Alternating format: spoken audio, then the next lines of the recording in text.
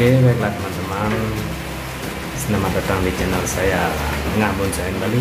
Pada kesempatan sore hari ini Saya mau melakukan sambung sisip ya uh, Terhadap bahan bonsai uh, Apa namanya besaran Atau murbe biasa yang disebut dengan murus alba ya. Saya akan menyambung bahan bonsai dari jenis uh, besaran. Karena ada dua jenis ya.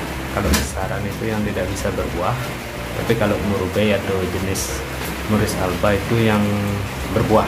Jadi saya akan sambung uh, sisip dari batang apa namanya besaran sama muris alba atau murbe biar nanti dia bisa berbuah seperti itu.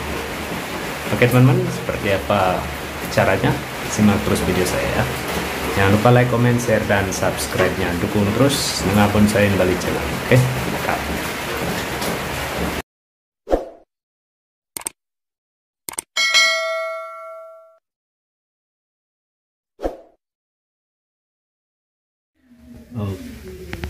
Oke, baiklah teman-teman, inilah dia ya jenis bahan bonsai besaran yang akan saya lakukan sambung sisip dengan bahan atau batang murbe.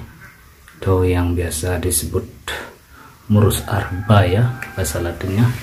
Nah ini dia ini jenis murus alba ya, yang akan saya nanti gunakan untuk sambung sisip di pohon besaran ini ya batang besaran ini dan saya memiliki tujuh ya. Tujuh pohon besaran yang ukuran kecil-kecil seperti ini tapi semuanya berkarakter sekali ya. Oke seperti apa caranya? Simak terus video saya ya. Oke teman-teman kita lanjut langsung ke tahap penyambungan ya. Kita akan sambung satu persatu oke? Salam satobi salam nengabun saya balik Okay.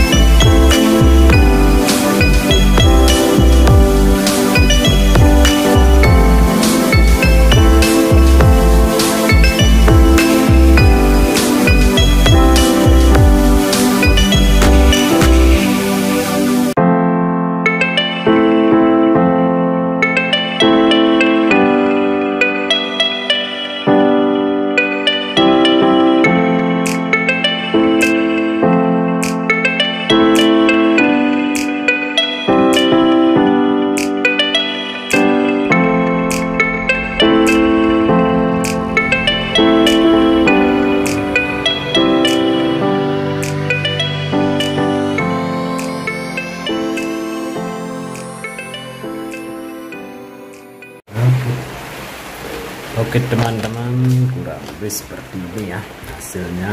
Ini dia hasilnya. Setelah disambung sisip ini sekarang saya mau tutup dulu ya mempergunakan sungkup biar nanti dia tidak layu ataupun tidak mati. Biar tumbuh dengan cepat dan subur ya. Jadi perlu melakukan penyungkupan setelah melakukan sambung sisip ya dan lagi satu. Nah tadi lagi satu sudah saya nah, sambung tadi ya. Nah ini jenis Morris Alba yang sudah tidak perlu disambung lagi. Dan ini satunya lagi ya. Dan ini satunya lagi teman-teman. Ini satunya lagi. Ini sudah saya sambung juga sambung sisip juga. Jenis besaran saya sambung sisip dengan jenis murbe yang bisa berbuah atau biasa disebut moris alba ya. Oke moga-moga untuk depannya nanti dua atau tiga minggu ini sudah tumbuh dengan sempurna teman-teman ya. Karena biasanya jenis ini gampang sekali dia hidup dan sangat gampang sekali untuk disambungnya apalagi sambung pucuk sangat gampang sekali ya lucu sama sisir juga lengkap oke teman-teman cukup sekian dulu video saya pada sore hari ini. Semoga bermanfaat dan bisa menginspirasi teman-teman. Sampai jumpa di video saya berikutnya oke? okay?